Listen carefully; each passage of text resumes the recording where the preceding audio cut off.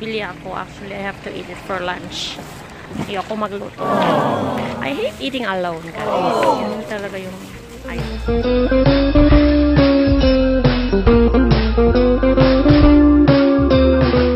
This is a day market. Actually, once a week, every Wednesday, may market place dito sa apartment.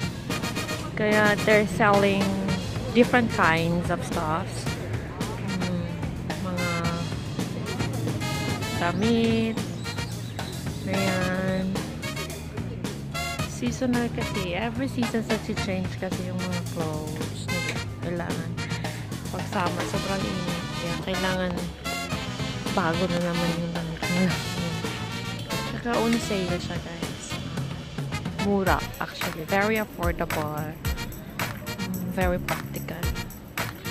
Pag binibili mo. Actually, Korean's attitude, one of the Koreans, ano, yung attitude na nakikita ko is, they're actually more on tapon when it comes to clothes. Kasi every season nag-change, uh, every time na nag-change yung season, parang ayaw na nilang suotin the next season, the next year. Kaya tinatapon nila. So, they're not into buying, you know, very expensive stuffs. Unless kung sobrang yaman na talaga nila, that, of course, umibili sila ng mga branded. So, yung mga ano, ordinary citizens lang, Ayan, may ganyan sila guys. May mga sale, syempre. Tulad din sa atin, di ba? At saka good quality siya. Sobra. Made, made in Korea. Yan, tingnan yung mga quality niya. Hindi siya yung mga, you know. Yan, may mga, pad, mga jammies din. Ayan, magaganda. Lahat. At saka guys, syempre, hindi nawawala yung pagkain. The food. There is a food truck. May food truck doon. Ay naman is uh, coffee. Food truck nila. They're selling burger, coffee, burgers and coffee. Ayan. Truck lang siya, guys. They're having business. Masarap to. Omo.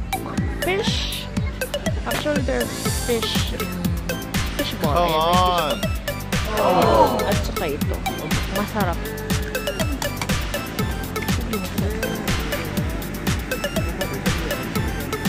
Sisig.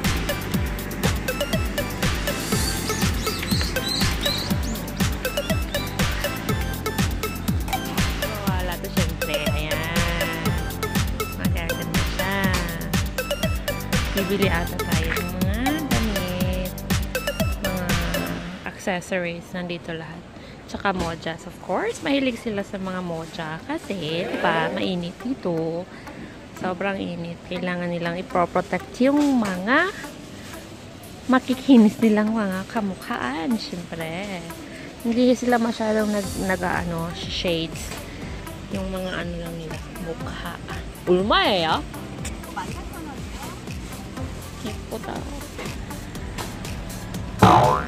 Chicken,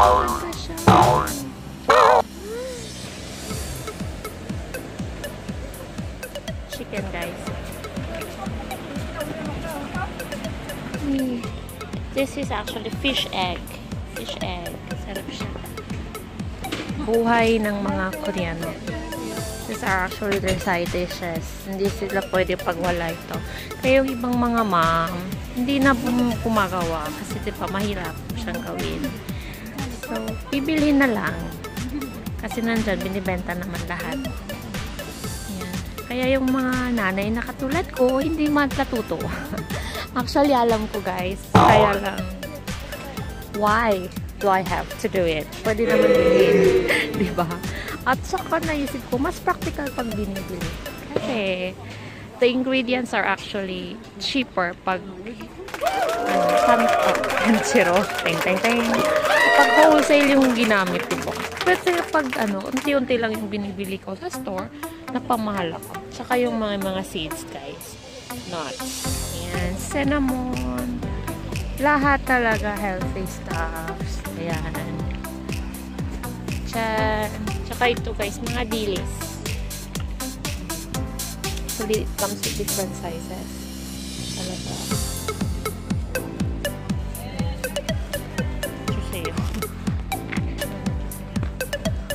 혹시 가도 돼요? 네. 아까 흥정을 할게요. 아 그래요? 네.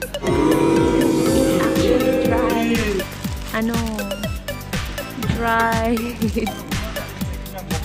아무너예요? 오, 오징어? 아. 아 그래요? 오. I am this is actually squid, but he said they call this usually octopus. Guys, this one is ano, like 40. Oh, they're selling milk. Tapos may mga previews sila, syempre, di para sa mga bata. At saka mga cute shoes. Ayan, ang cute-cute.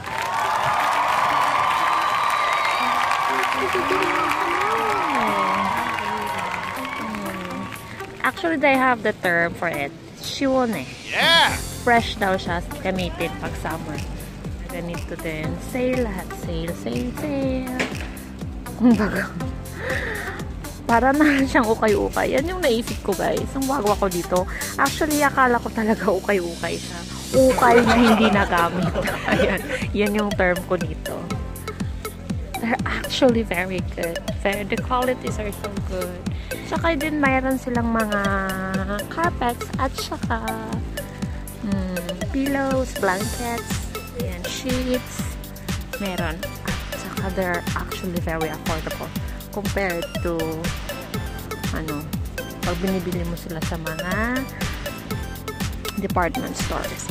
At saka syempre guys, gulay is life. Korea ka. Hindi mawawala yan sa kanila. Syempre din, frutas. So, ayan, very big watermelons here. Bananas, oranges, name them. Makikita mo talaga dito. Nandito lahat. Kaya yung ibang tao, hindi na pumupunta ng supermarket. Hinihintay na lang nila na mag, uh, dito, mag market day. Grapes.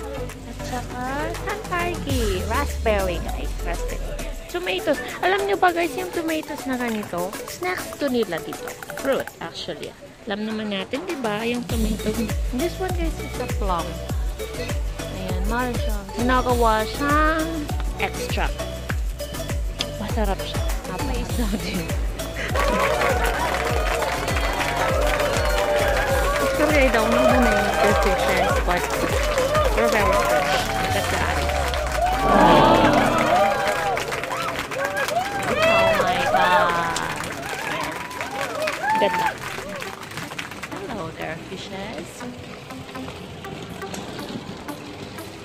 Sobrang presko. At saka guys, sobrang alaga. Di ba kasi maalikabok ngayon?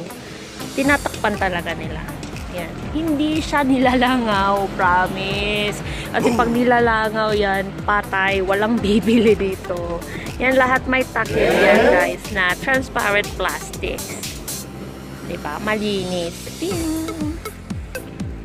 Yan guys. Partner guys, gumagawa sila ng mga traditional rice crackers. Yan, tingnan mo. Magpa-pop lang siya. Hmm. You see that? They're made of rice. 신기해서 찍고 있어요, 언니. 친구들 보여주려고. Uh, these are their traditional crackers. Yan. Traditional talaga siya. And yet, people really love them. Kahit sobrang, alam mo, yung parang ang tagal na sobrang sarap-sarap at saka gusto ng mga bata. Kasi syempre nutritious siya at saka zero calorie. Especially that one, rice pop. Ayan, guys. Alam nyo ba, guys, na ang mga taong gumagawa ng ganito, ang laki ng income nila. Kasi, rice lang yung puhunan nila uh, naging ganyan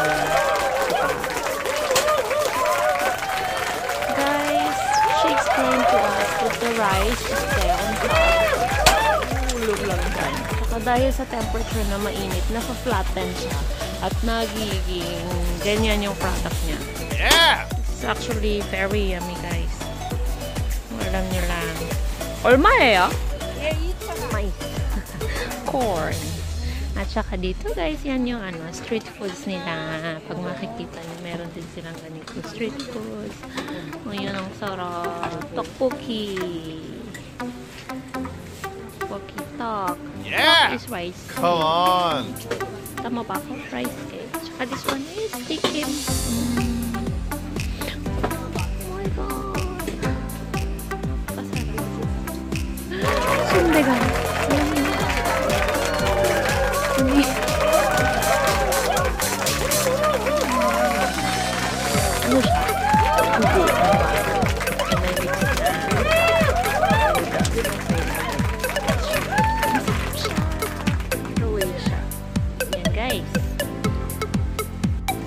Malutong, malutong, malutong.